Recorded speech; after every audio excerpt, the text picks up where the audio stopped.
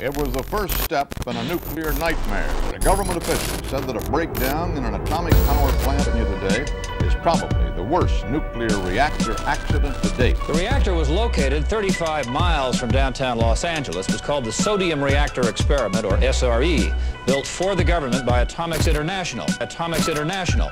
The Susana reactor started producing power at 7.30 p.m. November 12, 1957, for the first time in the United States. An entire community was illuminated by electricity generated by an atomic reactor. But less than two years after that dramatic send-off, something went wrong. Some of the fuel rods partially melted, melted, melted. Students working with me at UCLA came across records of the uh, partial meltdown. meltdown. When it melts, radioactive materials can be released. And the evidence is crystal clear. There was melting, meltdown, meltdown. Atomics International.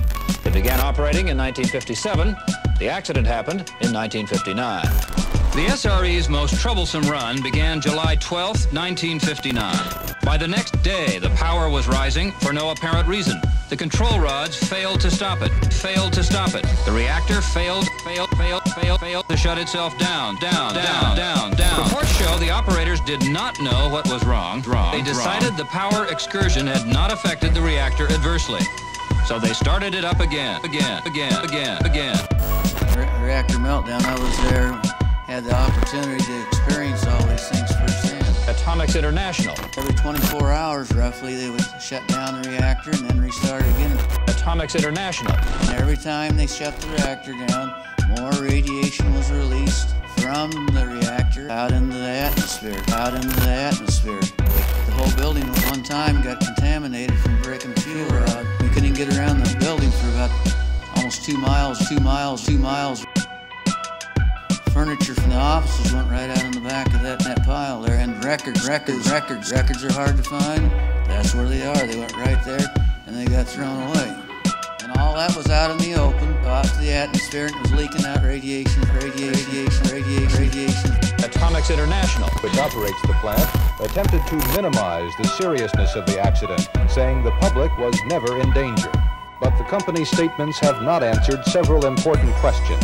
How much radioactivity has already escaped from the plant? Marvin Fox, Marvin Fox told us he couldn't say anything, say anything, say anything. that we're investigating about the devastating Woolsey fire. Fire. Is the smoke toxic? There's mounting evidence that the fire started at the Santa Susana Field Lab.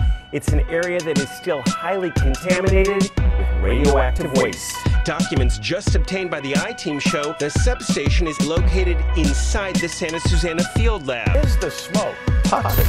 Will there be an independent investigation of the air, smoke, and ash? Is the smoke toxic? What can be in the smoke and is presumably there is radionuclides plus um, chemical toxins, radionuclides plus chemical toxins, chemical toxins, radionuclides plus chemical toxins.